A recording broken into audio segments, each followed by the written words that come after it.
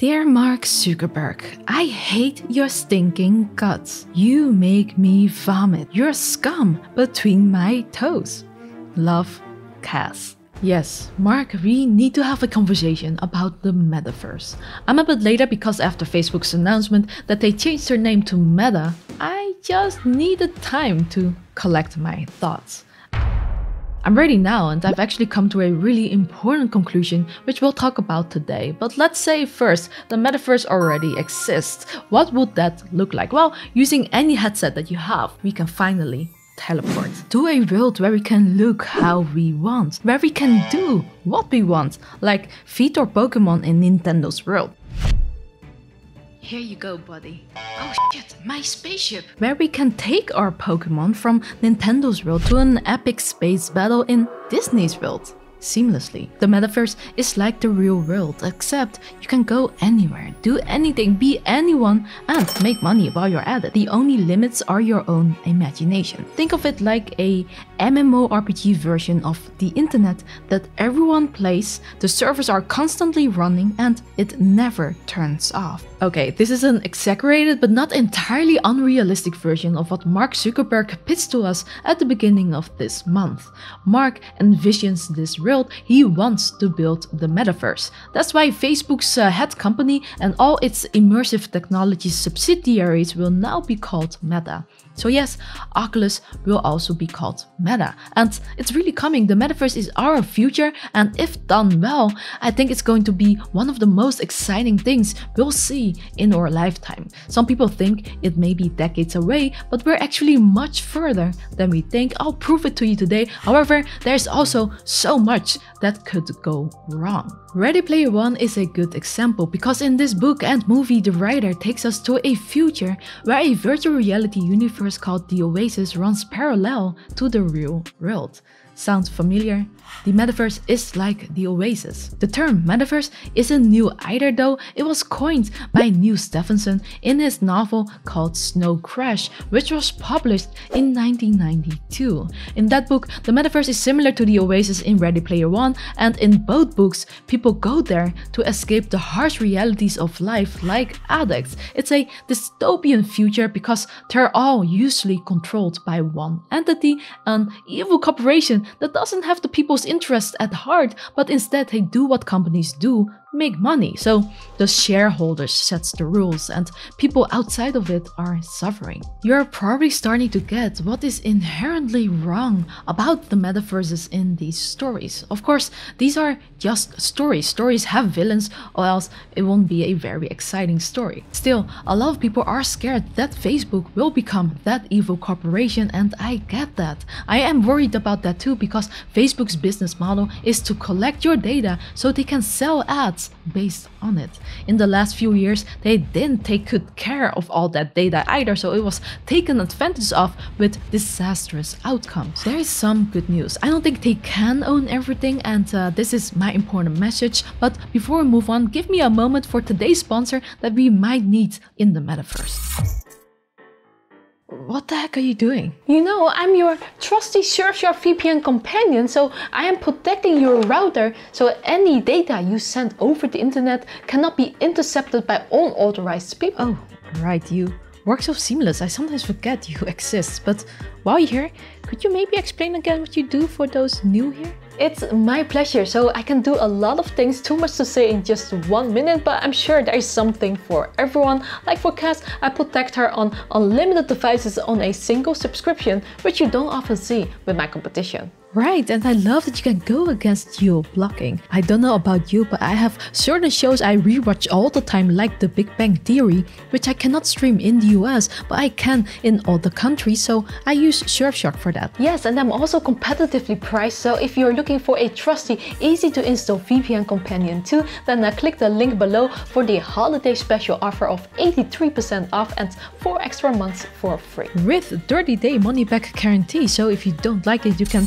break up with her anytime. No hard feelings. So there is much wrong, but there is light in the dark. Of course, the metaverse doesn't exist yet, so no one knows what it will become, but I don't think the metaverse, as Mark envisions it, will work if they try to control the whole thing. In my opinion, for the metaverse to work, this is what it should be. Like in the stories, the metaverse should be a virtual universe that runs simultaneously to a real world, but it should be one big decentralized universe that contains multiple little worlds. Let's call them microverses.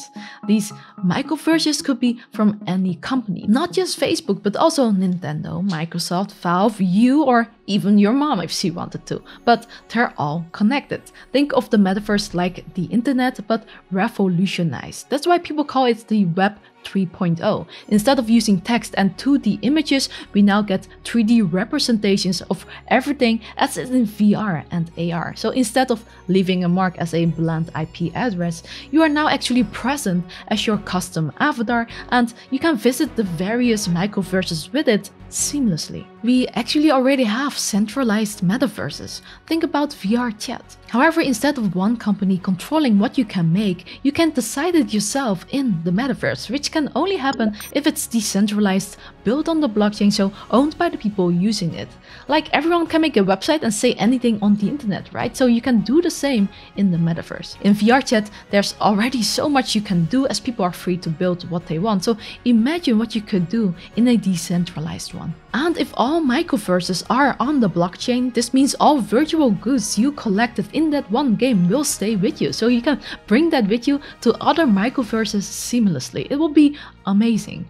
I know most of you are gamers, so let me talk gamer terms. Imagine you bought a very expensive cosmetic in Fortnite. Now, if you're sick of playing Fortnite, it will stay there forever kind of wasted money. But if Fortnite was in the metaverse, you can bring that cosmetic with you to a different game and use it there. Or you could decide to sell it, get your real money back and buy something new in the new game you want to play. This may all sound pretty far-fetched, but it actually isn't. The tech to make this possible is already here. It's the blockchain, crypto, and NFTs. I cannot go too technical right now because this video would be way too long, but basically, if you own an NFT, everyone can verify that publicly on the blockchain and it's almost impossible to hack that. So practically, NFTs could be used for your custom avatar, so people won't be able to steal them. I mean, your avatar could look like you, so you don't want anyone to impersonate you, right? There are already companies making these kinds of decentralized games. I'm actually playing one right now,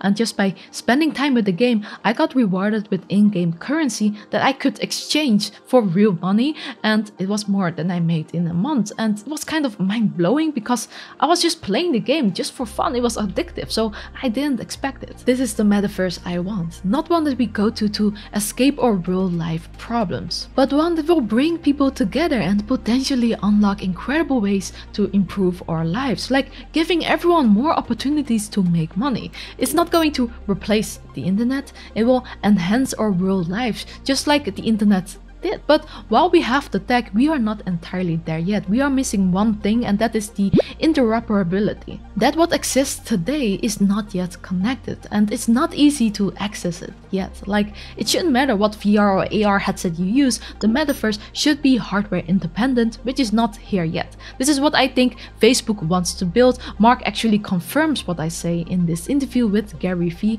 link is below. The problem is that we don't know if they will make it open or a walled garden, but I believe what Mark wants won't work if it's closed off, it just won't be able to flourish. So I think it is important right now to start working together and shape the metaverse so it does not become dystopian.